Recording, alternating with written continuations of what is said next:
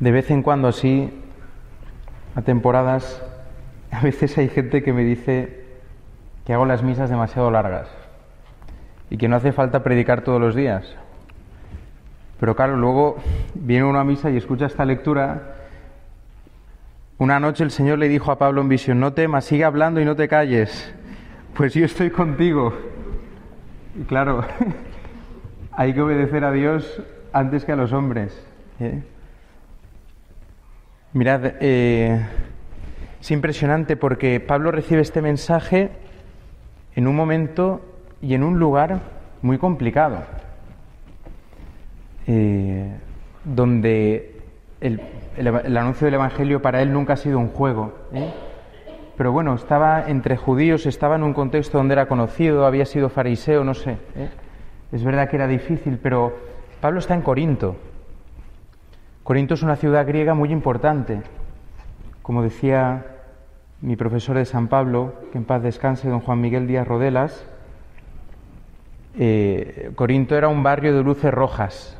Era una ciudad con puerto, una ciudad de mucho dinero, de muchos negocios, de mucho paso de gente, una ciudad donde confluían muchas prácticas religiosas paganas, una ciudad donde había mucha pues eso, ¿no? Los problemas que saldrán después en la, en la comunidad de los corintios, ¿no? De comilonas, de borracheras, de, de, ricos, de pobres, donde había mucha prostitución, sobre todo prostitución vinculada a lo sagrado, la prostitución en los templos, todo un montón de cosas, ¿no? Imaginaros Pablo, ¿eh? que llega allí a anunciar el Evangelio de Jesucristo y con la misión de lo que va haciendo de pueblo un pueblo, que es fundar comunidades, imponer las manos sobre los presbíteros, estar un tiempo evangelizando y, que ellos sigan viviendo la fe, ¿no?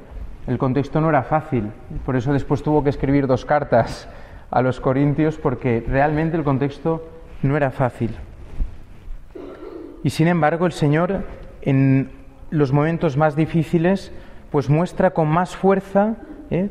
renueva las fuerzas del misionero, del anunciador, del testigo, del apóstol. ¿eh?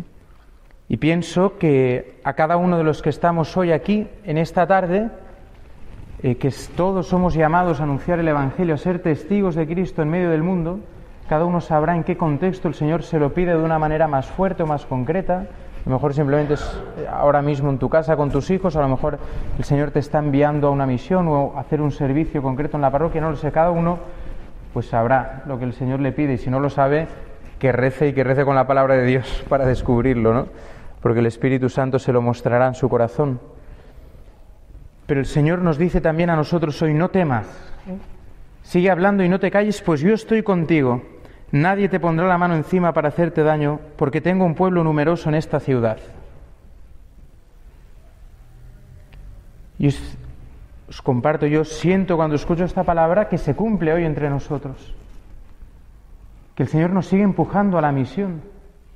Recuerdo cuando vinieron, cuando vivimos el seminario de vida en el Espíritu, Aquí en la parroquia, creo que hace ya tres años, yo he perdido la cuenta, no sé si hace dos o tres años, durante todo el tiempo de Pascua y, incluso después de Pentecostés, siete semanas, recibiendo estas catequesis, en la última, una de, las, de los servidores que, que vino estuvieron rezando antes y justo dieron esta palabra.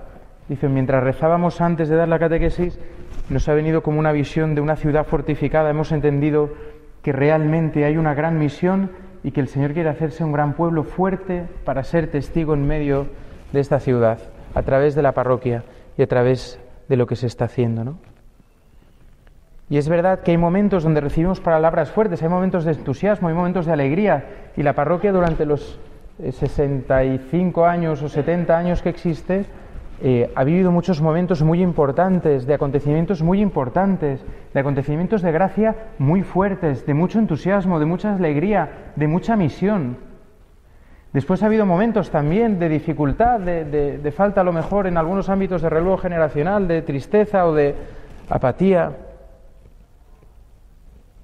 de fuga también de algunas generaciones, ¿no? Después hay otros momentos, ¿no? Y el Señor es el que conduce la historia, el que conduce la misión. Por eso cuando el Señor dice no temas, sigue hablando y no te calles, da la razón por la que no hay que temer. El Señor no nos dice no temas porque eres muy valiente, porque eres muy capaz, porque tú puedes con todo, porque ya verás que seguro que lo sacas, porque ya verás que tú has sido fuerte y siempre lo serás, porque ya verás que seguro que al final todo se soluciona, verás que al final todo sale bien. No dice eso. Dice, no temas, sigue hablando y no te calles, pues yo estoy contigo. O sea, eh, el motivo para no tener temor y para seguir cumpliendo nuestra misión como hijos de Dios y seguir combatiendo el buen combate de la fe, no es otro que la presencia de Cristo en medio de nosotros. En estos días eh, previos a la ascensión de Jesús, antes de despedirse, da esta palabra, sabed que yo estoy con vosotros todos los días hasta el final de los tiempos.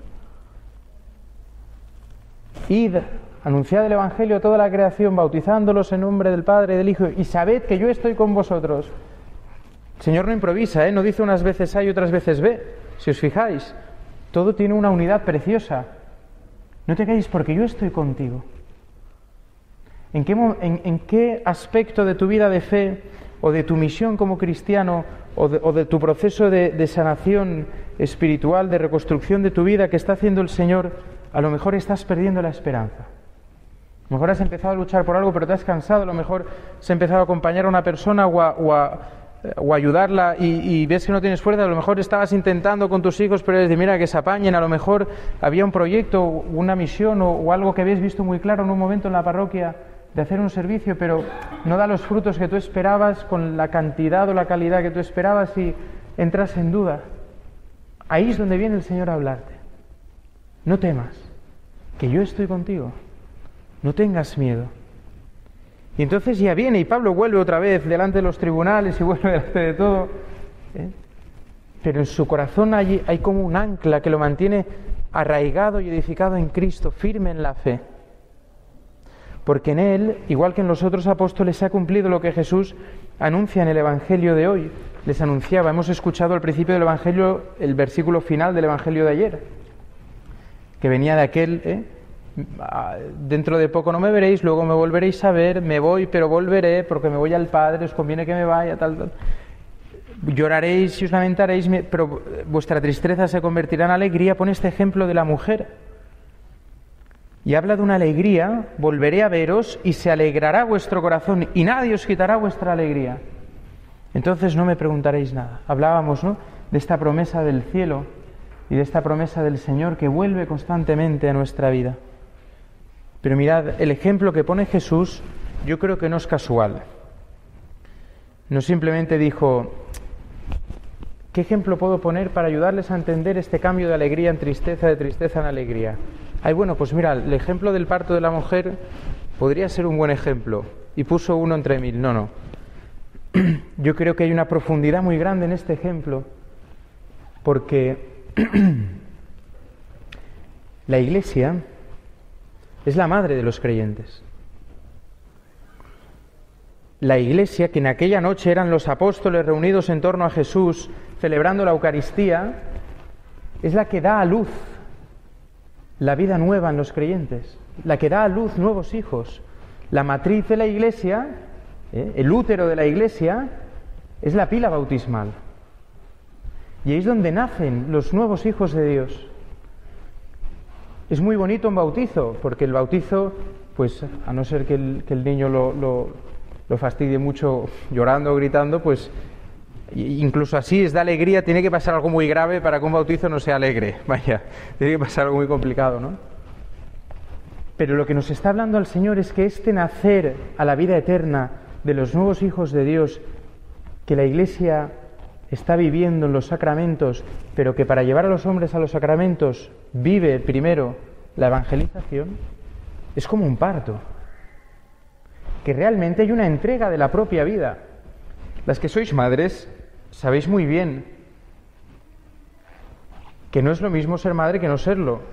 Y no es lo mismo físicamente, ni psicológicamente, ni económicamente, ni a nivel de preocupaciones, de problemas, etcétera, etcétera, etcétera que hay una entrega total de la vida.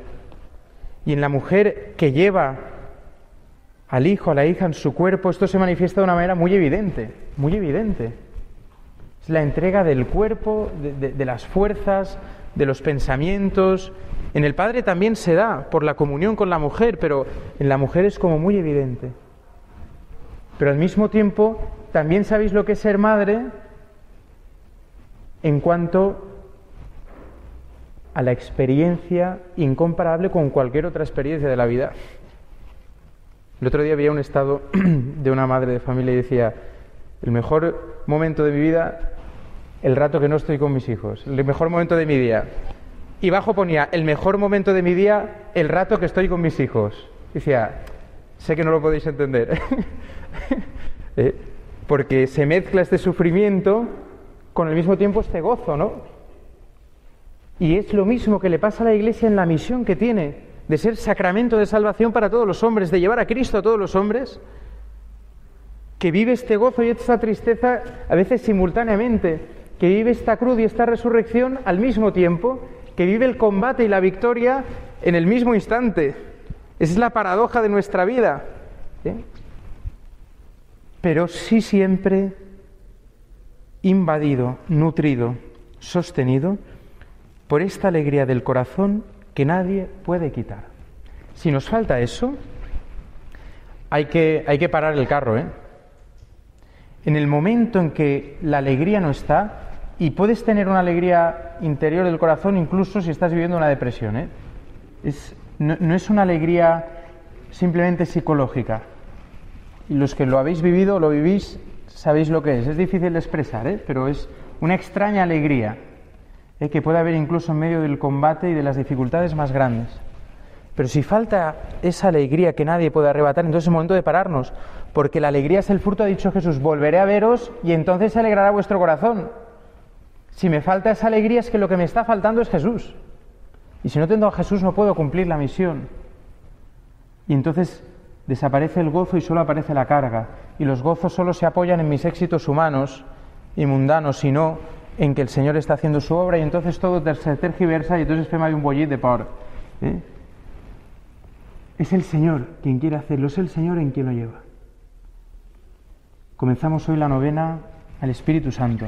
La comenzamos justo este año en esta memoria de San Juan de Ávila, un gran evangelizador, un apoyo y constructor de la vida de los sacerdotes en el final de la Edad Media, en unos tiempos complicadísimos, el inicio del Renacimiento, donde el Señor suscitó grandes santos, como hemos escuchado en la munición de entrada.